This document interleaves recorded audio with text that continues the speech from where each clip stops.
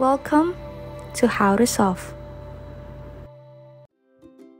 Hi there! Here's how to fix if you can't hear an audio message in iMessage. Now, did somebody send you an audio message and you try to press that play button but you just can't hear it?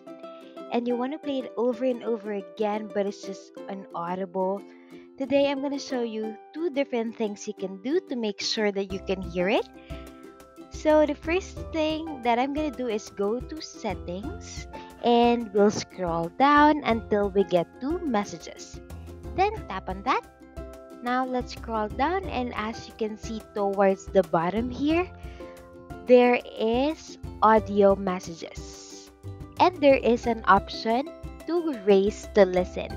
So I can toggle that on, which means if I press that audio message and hit play, I can hold the phone up to my ear and that will allow it to play basically the same volume as if you were on a normal call.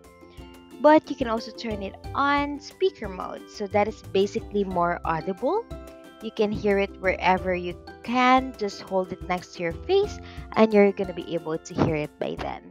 So let's go out of here and let's open up iMessage I'm just gonna send an example audio message. So I'm gonna tap on the blue icon and I'm gonna tap and hold this message.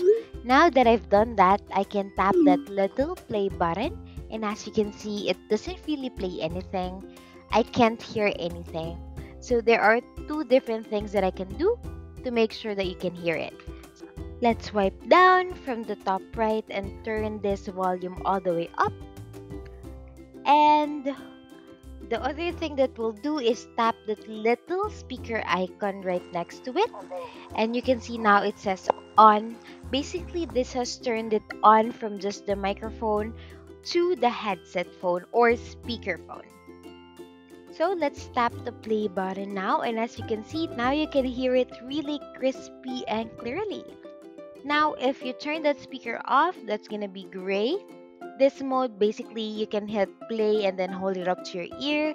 And then by doing so you'll be able to hear it just through your ear. But if you don't want everyone else around you to hear what that audio message is you can definitely just turn it off. That's it. That's how we fix can't hear audio message in iMessage. Please like and subscribe for more content. We'll see you in the next one